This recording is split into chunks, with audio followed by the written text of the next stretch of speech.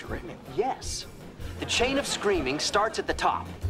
Arthur's boss's boss screams at Arthur's boss. Arthur's boss screams at Arthur. Arthur screams at you. You go home and scream at Lily. Lily screams at one of the kids in her kindergarten class. Then that kid screams at her dad, Arthur's boss's boss. And the whole thing starts all over again, thus completing the circle of screaming.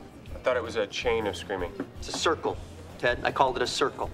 I don't scream at Lily. And I don't scream at my kids, none of whom have parents who work at Marshall's firm. So it's not a circle. Fine.